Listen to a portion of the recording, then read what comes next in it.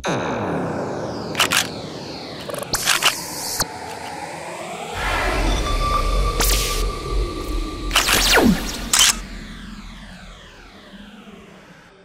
الله الرحمن الرحيم.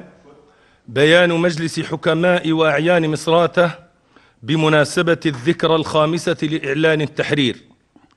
في الوقت الذي نحيي فيه الذكرى الخامسة لإعلان التحرير ونهنئ الشعب الليبي البطل بهذه المناسبة ونترحم على أرواح شهداء ثورة السابع عشر من فبراير وندعو بالشفاء العاجل للجرحى والمصابين وعودة المفقودين والمختطفين فإننا نؤكد على ما يلي.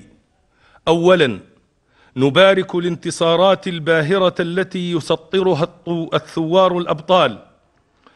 ونشيد بالتضحيات الكبيرة التي قدموها من أجل تحرير مدينة سرت من مجرمي الدواعش التكفيريين.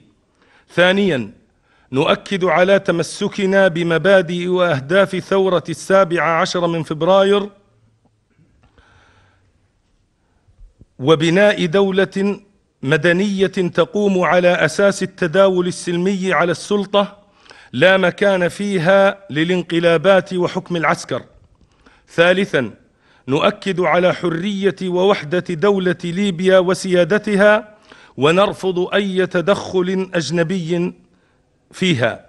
وندين بشدة أي دعوات للتنازل عن أي جزء من أرضها أو ثرواتها.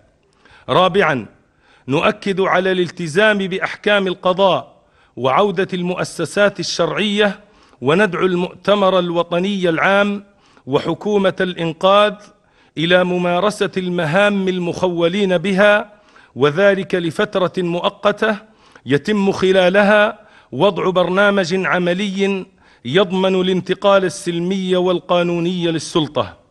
خامسا نؤكد على مخرجات الملتقيات الثلاث للوفاق الوطني الليبي وما صدر عنها من بيانات ومبادرات.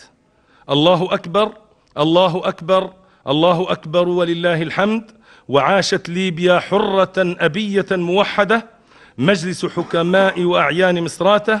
صدر بمدينة مصراته بتاريخ الحادي والعشرين من شهر الله المحرم 1438 هجرية الموافق للثاني والعشرين من شهر أكتوبر 2016 ميلادية والله المستعان والله أكبر ولله الحمد. الله أكبر. الله أكبر. الله أكبر ولله الحمد.